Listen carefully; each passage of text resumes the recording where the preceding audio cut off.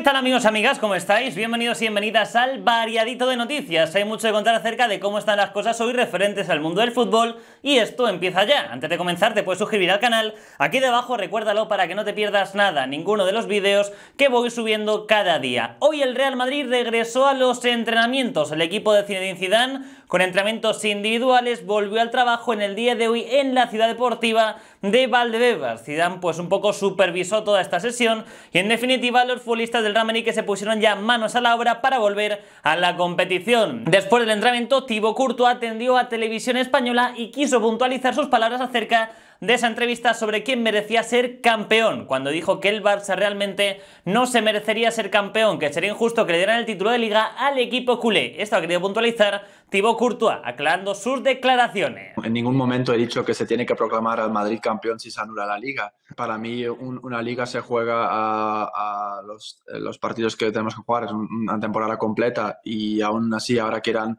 11 partidos y yo creo que es, o juegas todo y, y hay un campeón o en medio no se puede parar. Yo creo que eso no sería justo en casos como extremos, como por ejemplo Liverpool que está ganando de 25 puntos o en París que están de 15 y la liga lo decide así, bueno, se podría entender, pero yo creo que nosotros estamos en plena lucha con el Barça para, para el título, y eh, entonces mm, que se proclama, pues para mí no sería justo porque yo soy eh, uno que piensa que hay que jugar toda la liga y no eh, tres cuartos. Lo que comenta Courtois es que él no dijo que el Real Madrid debía ser campeón, sino que el Barça no sería justo que lo fuera, que fue un poco lo que dijo Courtois, porque él espera ganar esta liga si finalmente se disputan los partidos, cosa que parece que será así. Comenta Courtois que en las 11 jornadas que quedan cree que pueden darle caza al Barcelona y finalmente alzarse con el título de liga. Recordemos que el Real Madrid está dos puntos por debajo del Barça en la clasificación. También sigue entrenando hoy Atlético de Madrid. Héctor Herrera, futbolista mexicano, ha hablado así acerca de la sesión del equipo colchonero en el día de hoy. Lo que más nos gusta es, eh, jugar a la, pelota, ¿no? Y de una manera que lo podemos hacer es entrenando. Y, y, bueno, también contento por otra parte porque es un claro ejemplo de que las cosas van mejorando y que poco a poco y paso a paso vamos a, a estar a volver a la normalidad, no esa que, tanto se desea. Son las palabras de Héctor Herrera, lo dicho, la Liga Española pues preparándose para volver, comentaba el Javier Tebas en el partidazo de Vamos que intentarán que fuera ese 12 de junio, de momento no hay fecha confirmada. La Premier League también se pone manos a la obra para intentar regresar. El gobierno británico ha dado el ok al regreso al fútbol inglés y de momento la Premier, se me ha comentado hoy su presidente, pues está poniéndose manos a la obra para regresar a la competición. Dice que si puede volver el 9 de junio, pues que sería perfecto para ellos, que cuanto antes mejor De momento el 1 de junio es la primera fecha que se baraja para ese regreso de la Premier. Pero quizás sería un poco precipitado. Así pues, por supuesto, se preparan para ese regreso también del fútbol inglés, que no se queda atrás en toda esta situación. Hay que comentar que, por ejemplo, Igalo, futbolista del Manchester United, ha sido visto entrenando en un parque. Imágenes que ha compartido diferentes medios de comunicación inglés. Igalo, que sigue con su futuro en el aire, recordemos que costaría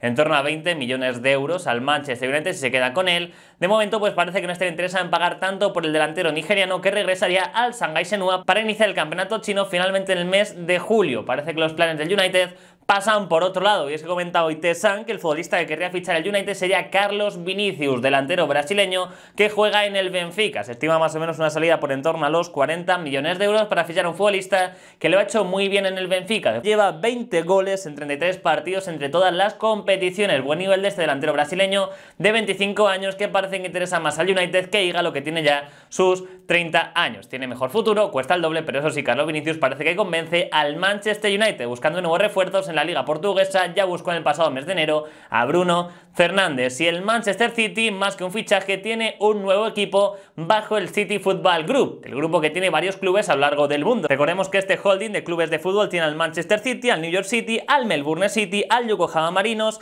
al Atlético Torque, equipo uruguayo, al Sichuan Jinu y también tiene al Girona y al Mumbai City. Ahora también ha comprado al Lommel. El Lommel belga es uno de estos equipos que pertenecen a la misma empresa que el Manchester City, a City Football Group. Lo ha comunicado hoy el equipo a través de su página web. En definitiva, incorpora este equipo dentro de este holding para sobre todo buscar jóvenes talentos en el fútbol belga, repartidos cada vez en más y más países. The Sunny Daily Mail también hablan hoy acerca de Gareth Bale. Su futuro sigue estando en el aire, tiene contrato con el Real Madrid hasta el año 2022 y lo cierto es que las urracas le querrían para este nuevo proyecto si finalmente se concreta esa venta al fondo árabe que tanto tiempo llevamos hablando de él. Esta semana podría concretarse esa venta por parte del equipo, por parte del Y en definitiva pues parece ser que el futuro de Gareth Bale pasaría por la incorporación a este nuevo proyecto. Suena interesante, parece que puede ser Pochettino Allegri el entrenador, se le relaciona con bastantes jugadores a este equipo, como el caso de Felipe Coutinho, así que veremos a ver, además hay que hablar acerca del Chelsea, que quiere fichar a Dries Mertens. Sabemos que se producirán salidas en el ataque del Chelsea este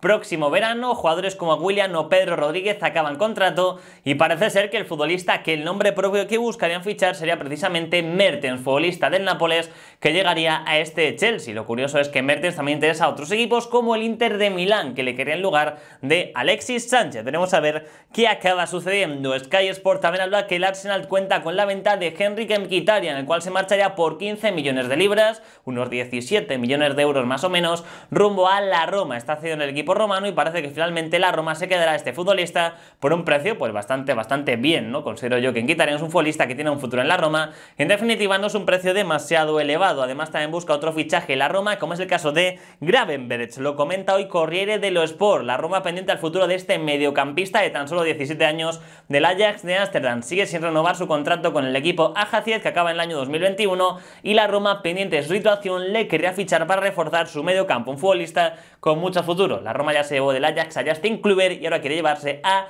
Ryan Gravenberch, gran jugador, a mí personalmente me gusta mucho, tiene un futuro bastante prometedor. La serie, por cierto, regresará el 18 de mayo a los entrenamientos en grupo, lo ha confirmado hoy el presidente de la Federación Italiana, por lo tanto se pone ya manos a la obra. La Juventus ya lleva días entrenando con esos dos entrenamientos individuales, Dybala ha vuelto a entrenar en el día de hoy, también hemos visto a los porteros, por supuesto que sí, trabajar. En imágenes que ha compartido hoy la propia Juventus de Turín, que sigue esperando pues que pase la cuarentena de Cristiano Ronaldo y también de Delit, que tiene que ser 15 días, justamente podrán volver cuando regresen los entrenamientos en grupo el próximo día 18 de mayo y también siguen esperando a Rabiot e Higuaín. De Higuaín se ha conocido que de momento pues tiene unos cuantos días de permiso para volver más tarde, mientras que de Rabiot pues espera que se reincorpore ya. Se habla de cierta rebeldía por parte del futbolista francés, veremos a ver si finalmente se reincorpora a tiempo o qué sucede. Tú, tu Sport también habla de la Juventud de Turín en busca de trueques en el próximo mercado, hablando de un trueque de Miral por Aguar, por lo menos que se habría planteado al Olympique de Lyon hacer este intercambio de jugadores. El Lyon no lo vería con muy buenos ojos porque quieren dinero por Aguar,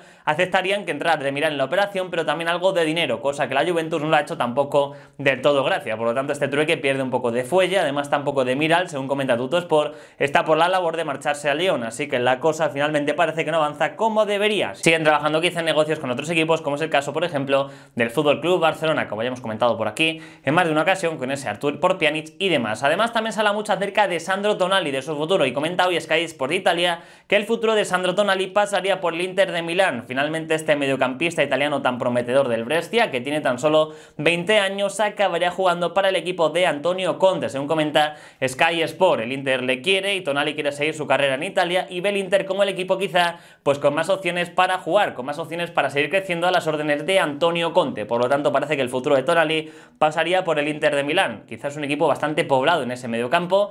Habrá que ver también este fichaje de Tonali si finalmente se concreta por parte del Inter, que parece que es el equipo que tiene más avanzada esa contratación, pues seguramente implica que a lo mejor el Inter deja salir alguna pieza importante, ya sea Icardi, que se le relaciona con el PSG, o ya sea sobre todo Lautaro Martínez, con esta posible salida al Barça. Veremos a ver qué pasa con Sandro Tonali. E Ibrahimovic ya está en Italia, ha regresado ya de Suecia para Milán y bueno, en efecto, tendrá que estar 15 días también de cuarentena antes de regresar a los entrenamientos con el resto de sus compañeros. E Ibrahimovic lleva ya tiempo entrenándose con el Hammarby en Suecia sin ningún tipo de problema. Ha hablado del director deportivo del Hammarby en la prensa sueca. Ha comentado que existen posibilidades de que el propio Ibrahimovic juegue la próxima campaña para el Hammarby, que lógicamente es complicado y es pronto para hacer especulaciones, pero bueno, que le gusta la idea de que Ibrahimovic finalmente regrese a Suecia para jugar en un equipo como es el Hammarby del que le pertenece el 25% de sus acciones después de adquirirlas el verano pasado. Puede ser un buen destino para Ibrahimovic y finalmente no siguen este nuevo Milan que se está planificando. Por lo menos habla mucha cerca de la posible llegada de Ralf Ragnick, quizá por sus planes no pase